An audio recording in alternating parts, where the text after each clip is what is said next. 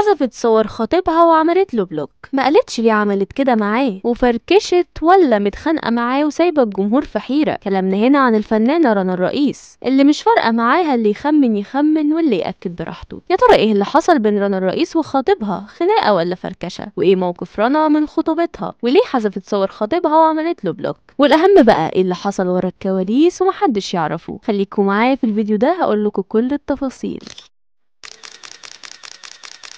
رنا رئيس زيها زي أي بنت كانت فرحانة بوجود مشروع ارتباط وقصة حب بينها وبين ابن الجيران وقعدت سبع سنين لحد ما ربنا كرم. ويسري علي قرر يوفي بعضه ويخطبها. كانت الخطوبة مش أي حاجة كده والسلام لا ده مفاجأة اتعملت لها وكله كانت مؤامرة من العيلة عليها. وتمت الخطوبة لحد ما حصلت الحيرة اللي الجمهور فيها. رنا الرئيس كانت فرحانة جدا بخطوبتها والأجواء اللي حصلت فيها وقصة الحب والارتباط وفرحة الناس ليها كل ده تمام التمام لحد ما اتفاجئنا إن صورها مع خطيبها يسري في الإنستجرام مش موجودة وهو كمان مش موجود. والفيديو المفاجأة بتاع خطوبتها برضو بخ ما لقيناهوش. طب إيه الحكاية؟ وده السؤال اللي الجمهور بدأ يردده ويقول يا ترى إيه اللي حصل ورا كل ده؟ هل دي خناقة ولا فركشة؟ الحقيقة لحد دلوقتي موقف رنا الريس من الخطوبة غامض جدا. لا طلعت قالت إيه اللي حصل ولا ليه حذفت الصور؟ والكلام على إن الأمور مش ولا بد. طب الغموض ده أخرته هيكون إيه؟ إما إن رنا الرئيس لو مقرشفه الصور والفيديوهات وترجعها تاني أو تطلع تقول كل شيء اسمه ونصيب. عشان كده قررنا نفك الغموض ده معاكم في الفيديو ده. عارفين البنت لما تتفاجئ وهي لسه بتفكر تاخد خطوة الخطوبة ولا لأ؟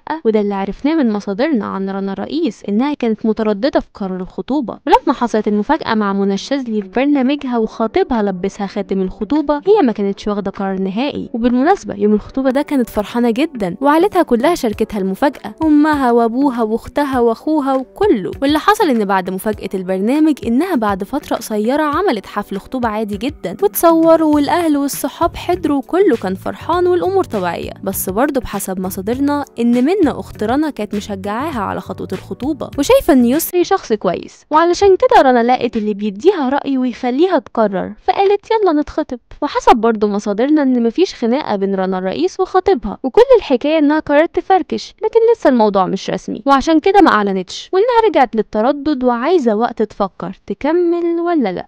ولما تاخد قرار هتقول. واستحالة إنها تفضل معلقة الموضوع كده. وطبعا بنتمنى لرنا الرئيس سعادة في حياتها. ايا كان قرارها وربنا يوفقها في اللي جاي. قولولنا بقى في التعليقات إيه أكتر دور شفتوه رنا الرئيس وعجبكم؟